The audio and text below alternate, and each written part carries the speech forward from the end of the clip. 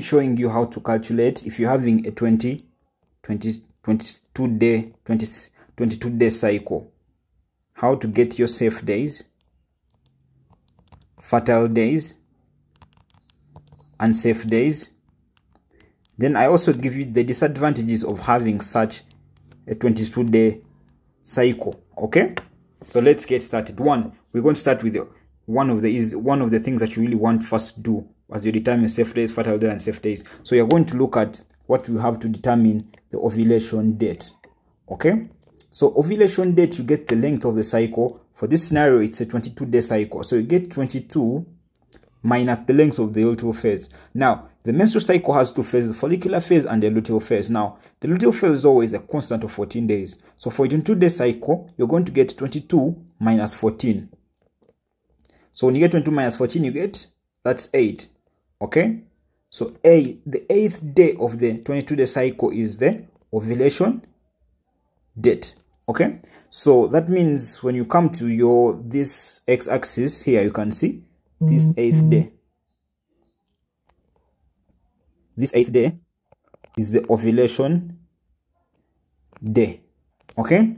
So another thing to put into consideration is that once you ovulate the ovum or the egg is viable for 24 hours. Okay? Mm -hmm. so if you want to if you want to maximize the chances of conception you really have to make sure that you maximize intercourse around this ovulation date probably a day before the eighth day and a day the eighth day throughout. Okay? So another thing is that another thing is that if you really want to avoid pregnancy this is the best time you should avoid you should avoid intercourse because there are high chances of conceiving okay? Now i want you to remember another thing is that another thing is that once you have intercourse okay?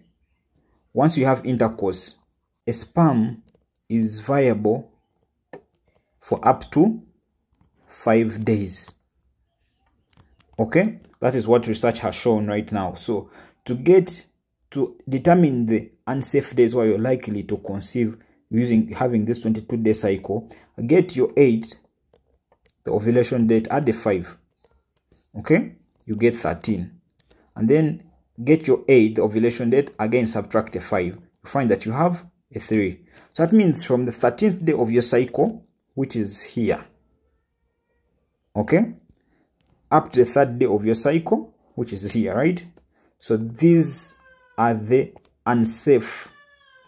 So these are the unsafe days if you don't want to conceive. However if you want to conceive you can take you can take these days into consideration so that you have what they call fertilization. Okay these are the unsafe these are the unsafe days within this range okay?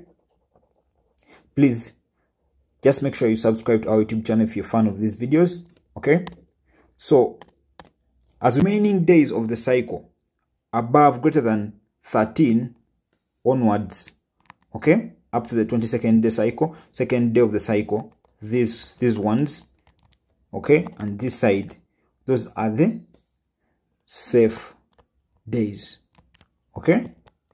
So these are the safe days of the so these are the safe days of the cycle okay so if these are the safe days of the cycle, one of one of the problems with having such a 22 day cycle, you notice that the the difference there's a very small gap. Usually, remember the first day is your the first day of your menstrual cycle is the first day you bleed.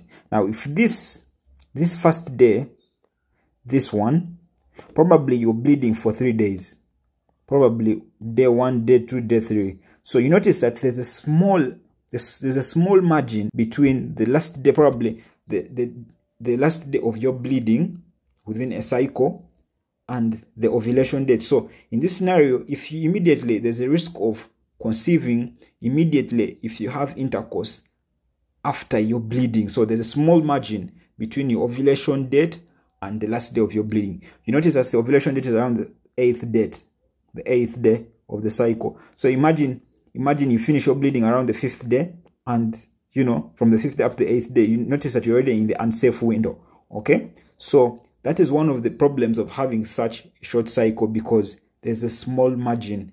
There's a small so it tends to be very very tough okay? So one of the things that you, you may not thoroughly use this method to prevent pregnancy you want to make sure you use other methods such as you know the emergency contraceptive pills so that you know you prevent pregnancy if you don't want to conceive okay?